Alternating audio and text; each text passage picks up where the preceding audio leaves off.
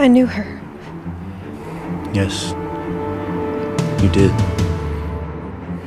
She was exposed within our gates, and we had to release her into the wild.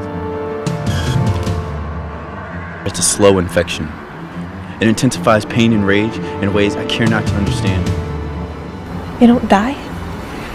They do, eventually.